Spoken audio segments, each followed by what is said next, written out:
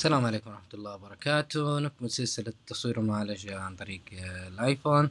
ننتقل لقائمة جديدة اللي هي الروتيت واللي هي القائمة الخاصة بتدوير الصورة ونشوف إيش استخداماتها. مجرد أنت ما تدخل القائمة حيعمل لك آه، وزن لأبعاد الصورة بشكل أوتوماتيك وممكن أنت تتحكم في عملية اللي هو تدوير الصورة وتصحيح أبعادها بشكل آه، يدوي أو ممكن تحول اتجاه الصورة يمين يسار وممكن آه، تقلب الصورة أو تخليها بشكل جانبي.